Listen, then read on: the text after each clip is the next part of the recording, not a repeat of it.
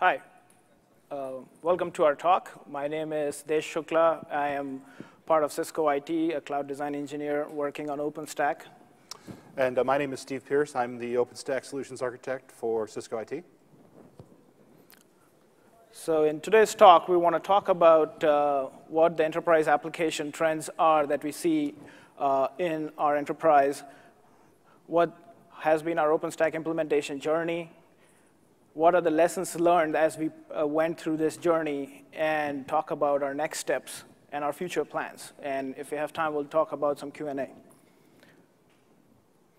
So today's application architecture, uh, these are some of the common patterns that we see. The applications are elastic. They can dynamically allocate resources. They can shrink down depending upon their requirements. They are flexible. They are built on different operating systems. They can run on different platforms. And they are need to be deployed faster because they have the promise of having time to market in a shorter time. These applications also have resiliency characteristics. So they have uh, designed to deal with infrastructure failure for such an application architecture and to help promote cloud adoption within our enterprise, we came up with a framework to identify applications which are either cloud tolerant or all the way up to cloud native. The basic difference between these three uh, paradigms are for uh, legacy applications like uh, ERP, which have state maintained within them. They have applications which are monolithically built. Uh, they do not have resiliency in their architecture and rely on the underlying infrastructure. We categorize them as cloud-tolerant application. We then had the Uber state, which was cloud-native applications. They are fully API-based. Uh, they have stateless interactions of, uh, among their components and are built to recover from any resiliency. So, so these, by, by having these buckets, it helped us to classify what applications are the key targets for migrations. Obviously, the cloud native applications are more geared towards uh, faster adoption on a programmable infrastructure, whereas the cloud tolerant needed additional work. To come up with, uh, to deploy such a cloud-native platform, we needed an infrastructure which was programmable and had these characteristics. They needed to support multi-data center deployment.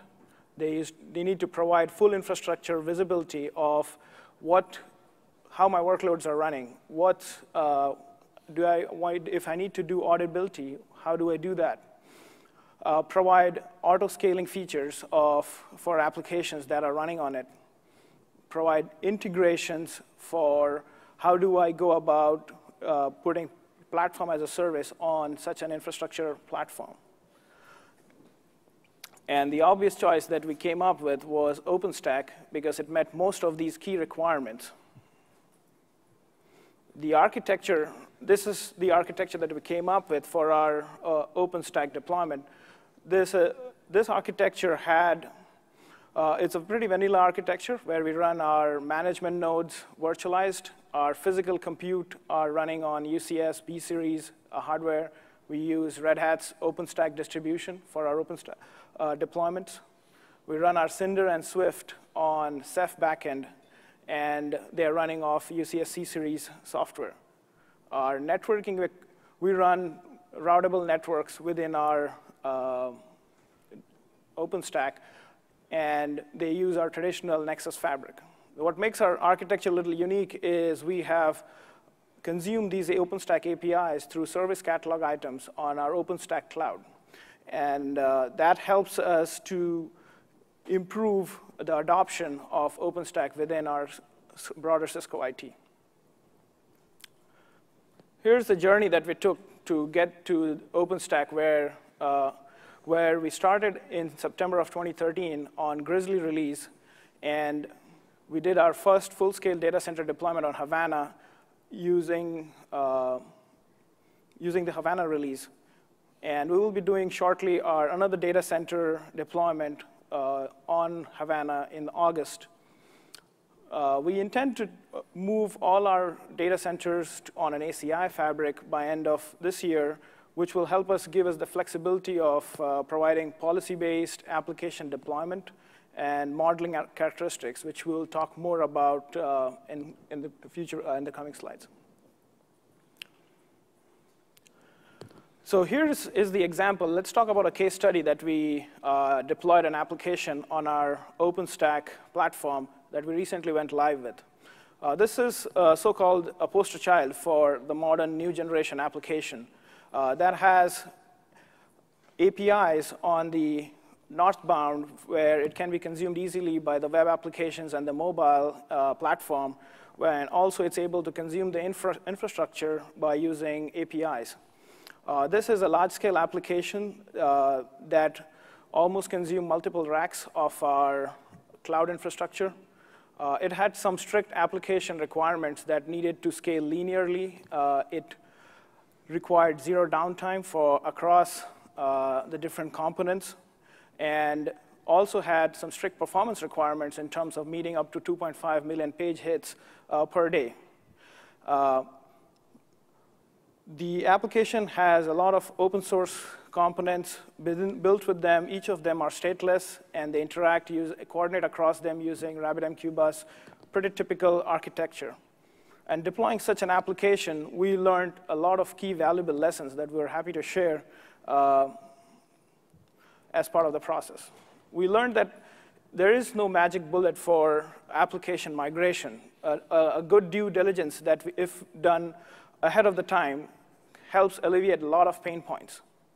So one of the key things that we quickly understood was if we are able to understand the application architecture and the interaction patterns ahead of the time, that will help us to iterate quickly as we move across the different application lifecycle. Uh, the application was pretty complex. There were too many moving parts. There were uh, interactions which we needed to track. And had we had a documenting process where we were able to tell A component talks to B component in a certain fashion, we would have been able to quickly deploy certain applications as we move from dev to QA to production.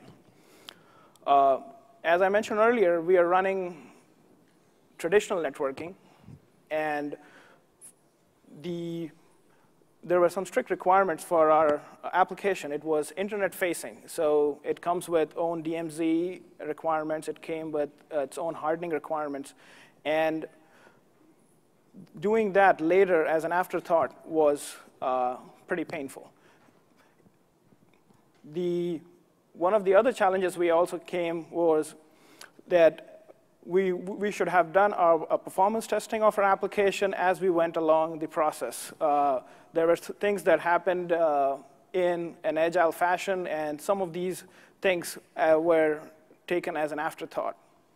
But in a nutshell, we, we came to a conclusion that application deployment is still difficult in OpenStack uh, cloud environments. And the reason being that there are two different paradigms uh, still exist, that deployment uh, developers are still thinking in an application-centric way. They think about this are our applications, this is how we need to interact across these applications. And infrastructure people are focused on implementation specifics, meaning how's my VLAN working, how's, how, do, uh, how do I enable this firewall ports. So there is still a, par a distinct parity between when we deploy these applications. And that is something that I'll hand over to Steve to talk about on how we can do better uh, as we move along. Thank you, Dash. So like Dash was saying, we're finding that application deployments are still too difficult in the cloud. And as Dash said, it's because of the difference between the application developers. They're application-centric. They don't understand the infrastructure. It's not their job. The infrastructure engineers understand their infrastructure, but they don't understand the application. And so there's a big disconnect between these two groups. So the question is, is what can we do better? What can we do better next time, and, and, and how can we get there? We need to separate the two concerns. We need to separate the application concerns from the operator concerns, the tenants from the administrators. And with that separation, the application uh, developers can specify how to deploy their application in, with a model, and then the infrastructure engineers can go and deploy via that model. Um, another good thing is, is we want to have dependency mappings. We want to understand when service A requires service B so that we can do planning. Uh, the infrastructure operators can operate the infrastructure better. We eliminate surprises when we take down one service and discover that something important depended on it.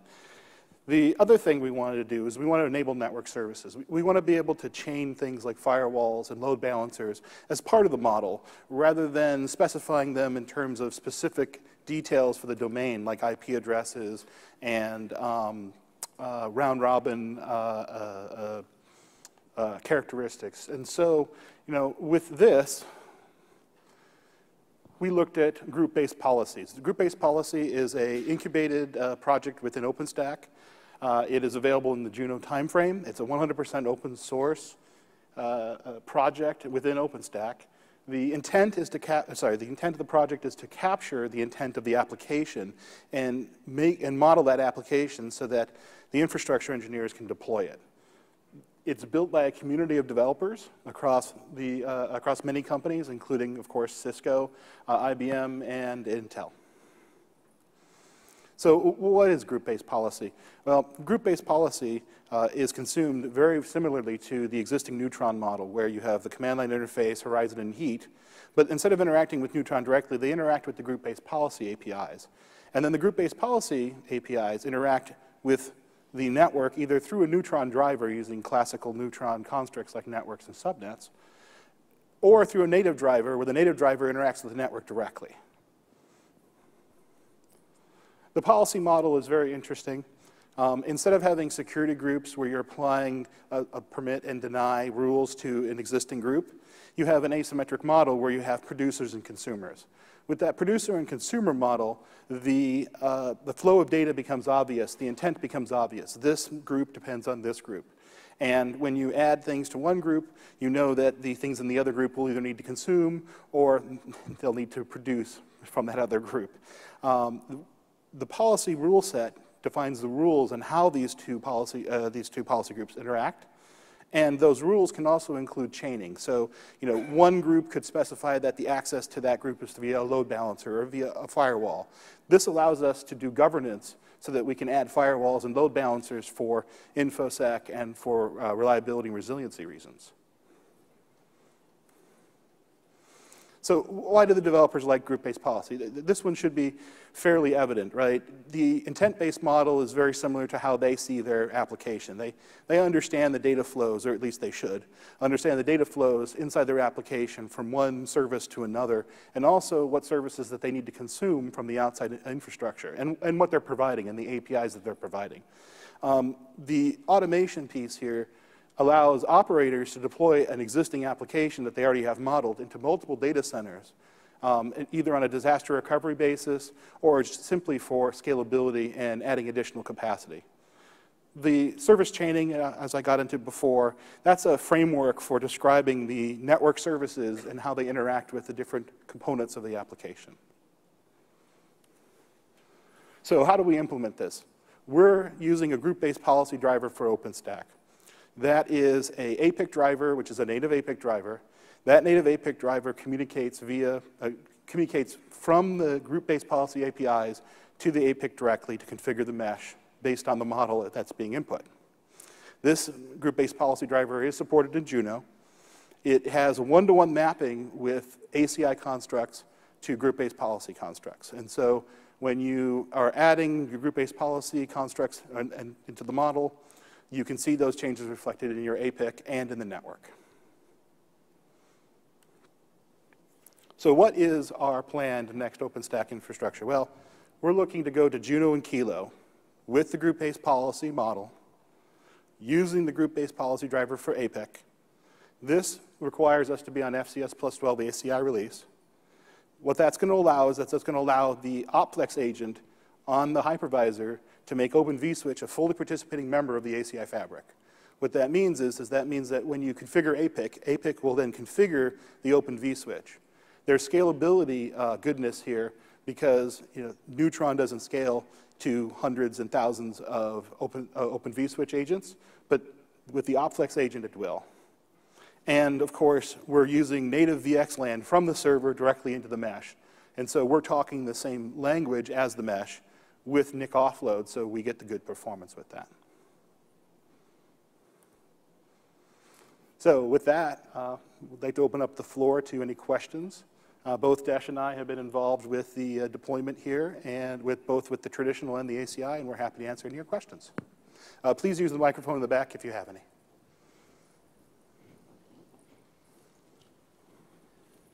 After the deployment, have you changed the support model overall? So before uh, OpenStack and af after OpenStack deployment for the internal environment, Did, did you hear? the supporting the environment. Uh, I'm sorry, we didn't hear the question. we didn't hear the question. So, so the overall, the internal IT environment, you deployed the OpenStack. So after your deployment, have you changed the support model? A- after deploying Yeah. OpenStack, have we changed our support model? Yeah. Um, OpenStack is driving a lot of changes in our support model um, with the ability for us to give access to the dashboard to our clients. Um, they are asking for more and more functionality so they can move faster and faster. Um, Yes, and I think we, there has been a shift in our, the way we do our operations. Uh, we have started to move towards the whole DevOps model where it is fostering a programmable in, infrastructure adoption.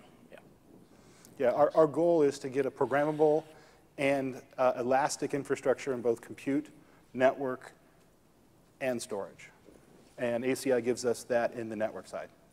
Yeah, and I think one thing I wanted to play back was when I was talking about the application architecture, there were different components. There was a pretty complex application, and the way what will this new architecture with group-based policy, the way we'll be able to help is we'll be able to now define like layers. Like so, we will have like web layer, app layer, and a DB layer. So it doesn't matter how many components you have. We'll be able to deploy them as VMs. And from an application person, he will be able to just say, my web layer wants to talk to my application layer on a particular port an application wants to talk to a DB on a certain uh, port. So there is like a clear distinction, and as part of that definitions, we are able to capture uh, the documentation as part of the deployment. So when we had to move such a workload from dev to QA, it will be pretty seamless, and uh, with service chaining, we will be no longer having like the firewall challenges that we had, right? So we will be able to dynamically deploy any services in between app to a web layer or web to a DB layer, a classic three-tier application. So that's the benefit that we're aiming with this architecture, uh, with, with the new group-based policy. And with ACI, we will get the scale that we need to uh, deploy uh, at such large scales. So.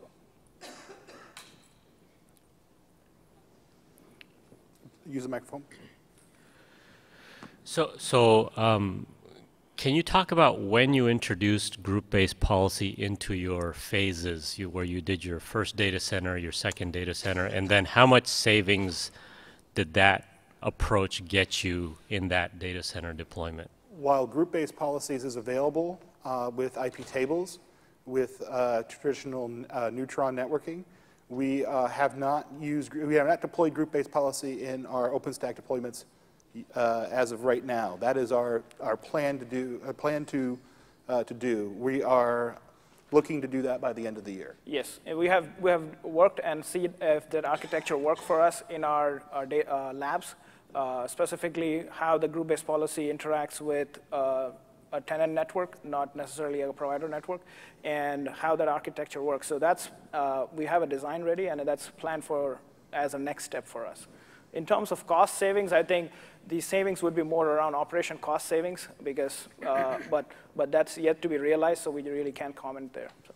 Uh, Just to be clear, group-based policies was only released uh, last year? Last year, yeah. I think it- Last year late, I think. November timeframe, right? Yes. And with that, you know, we're one of the first adopters to really try to push that out into our uh, development, staging, and production data centers. Yep, yeah, and we've been working closely with the community to kind of uh, make Yes, that yes. Uh, make that deployment successful. Yeah, go ahead. What, what sort of upgrade strategy do you have in mind to go from Havana to Juno? We- We were in an earlier uh, session with, uh, with uh, uh, Todd uh, where we were talking about how to upgrade from Havana to Juno. Uh, That's still uh, a matter of some great debate amongst the uh, operations and design staff. It's still under discussion. I think the short answer is we're, we're probably taking the um, well-documented route, but with the more conservative approach where we'll go through the hops and So go what is the, well, I'm, I'm- I'm curious about the upgrade path, and I'm- I'm curious about the upgrade path in general, because I haven't heard a lot of discussions about that. So is it, um, The document, the, the, the safe way is to obviously move up one level at a time, Havana to Icehouse, Ice House to Juno. Okay, And because Icehouse exists in both 6.5 and 7.0 RHEL, we, use- we obviously use Open, uh, OpenStack from Red Hat. Um, you can use Icehouse to bridge from 6.5 to oh. 7.0. Yeah, so we brainstormed different options, and I think we settled on going one hop at a time to minimize uh, impact to our service so on existing hardware, though, so. on no- existing hardware, Yes, exactly. absolutely. Yes, yes. Now, the ACI deployment, because the model is so different um, from the security group model, and because the intent of applications isn't captured in the security group model, that the existing applications will need to get some um, overview and working with the application owners to, to build those models. So when we move to ACI, we'll be building that greenfield, uh, either Juno or Kilo. Yeah. Hi, uh, the uh, title of the presentation was Migrating Virtualized Applications to OpenStack. So uh, I'm assuming that means uh, migrating VMware virtualized applications to OpenStack. That's question one. And then within that context, is everything you said apply to any app that's virtualized under VMware, or which type of apps under VMware do you recommend moving to OpenStack and which you don't? Do you want to take that one? Yeah, so yes, the title was around migrating application, and this is the step. We wanted to give a pre-talk around uh, how we move, what are, what are the things we are doing in place as a prereq for making that happen. So the goal that we have is once we have group-based policy implemented, applications which are more uh, cloud ready or cloud native, the two and the three in our hierarchy, become a good fit because they have API based and they have agility uh, for cloud. Uh, and they can move regardless of whether they are VMware virtualized or, uh, or any other virtualization. And then they, they can be a good fit because you can now bundle them together. And as long as you know the interaction patterns across them, you can able to uh, define a contract across them. And, and hence it simplifies the architecture. But we are, we're not there yet in terms of uh, implementing in our production data center, but that's, that's the journey that we're going. So we will be happy to come back and talk about how we did. So, And, and we, and we plan to submit a talk about what our um, outcomes have been going down this, uh, this road and modeling applications and working with the application owners. Um, the, the bullet item that I, I give people for the 15-second elevator talk is there's no magic bullet, right? Migration into OpenStack requires knowledge of the applications, requires you to classify the application as cloud, cloud native, cloud tolerant, or cloud ready, and take the appropriate steps at that point to migrate that application or decide not to. You know, the monolithic applications that require infrastructure um, uh, resiliency that don't have application resiliency are not good fits for OpenStack. or will require substantial effort. So yeah. Yes, yes. So you're not recommending, you know, any app that's virtualized be using your steps to move to OpenStack? Uh, if an application requires, has a single point of failure that requires high availability at this point, we do not recommend to the application owner to move that into OpenStack. OpenStack does, does not have a pets mentality. It's cattle, not pets. Now, in the community, we see that kind of changing. There's, there's part of the community that wants to see more HA features. Um, I believe that there are a number of vendors that are talking about providing those features. When that happens, then we would change our uh, guidance along those lines about saying for those applications that require these kind of HA uh, feature sets, uh, we will support you in this manner. But at this Yeah, point, we yeah. would say And no. just to put a finer point on that one, right? So I think there is a merit on why people want to uh, migrate to OpenStack. I think it's not just like, yes, I want to get away from licensing and I want to just put on OpenStack, right? So what our philosophy has been within our enterprise is migrate those applications that can truly get the benefits of a programmable infrastructure. That, so hence, I think in our view, uh, uh, there has to be a median where you have cloud ready and cloud native applications which are more intelligent and they're able to use a flexible programmable infrastructure to migrate there because yes a lift and shift can happen but but wha- what's the value there so that's that's that's something that we're promoting within our enterprise Yeah, you talk about programmable infrastructure, but doesn't VMware and vCenter, they also have APIs to instantiate? I mean, isn't The- some of that already there? The even APIs available for, for VMware um, are not Well, first of all, they're not restful. Um, The orchestration team, of of which a number of members are, are here, can attest to some of the difficulties with orchestrating against VMware. Against OpenStack, it's a restful call, which is, you know, very easy to do. You can do those with, you can do those on the command line. And in fact, for testing, we do that all the time.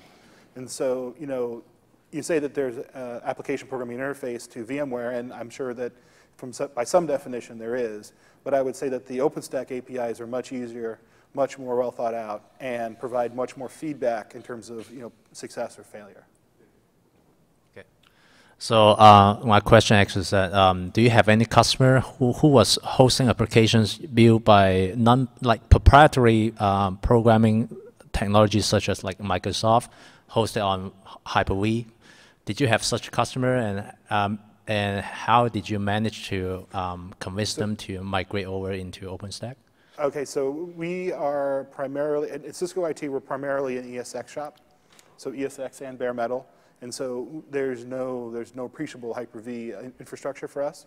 And so we don't have very much experience with dealing with Hyper-V. Hyper-V, yeah. And, and that technology. I, sorry, not, not our thing. Very simple question. Where can I get the slides? Um, I, I will provide the slides either through um, the conference, or if not, give me your card and I'll email them to you. Yeah, we can email you, Jim. Yeah. Any other questions? Other questions? All right. Thank you very much.